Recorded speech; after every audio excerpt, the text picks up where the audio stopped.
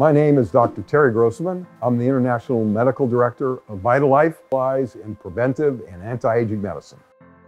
They refer to fillings uh, in the mouth as silver amalgam fillings, but actually they're 55% mercury, and mercury is the most toxic non-radioactive element on the planet. And every time that you drink something hot, like a cup of coffee or a cup of tea, anytime you chew, eat, then part of this mercury that's in the amalgam filling is vaporized. It goes into a gas and it's inhaled through your mouth and through your nose and it goes straight into your brain. So they've done experiments and they've shown that mercury is very toxic to nerve cells such as the cells in the brain. So for that reason, I feel that amalgam fillings, mercury amalgam fillings, are very bad for one's health.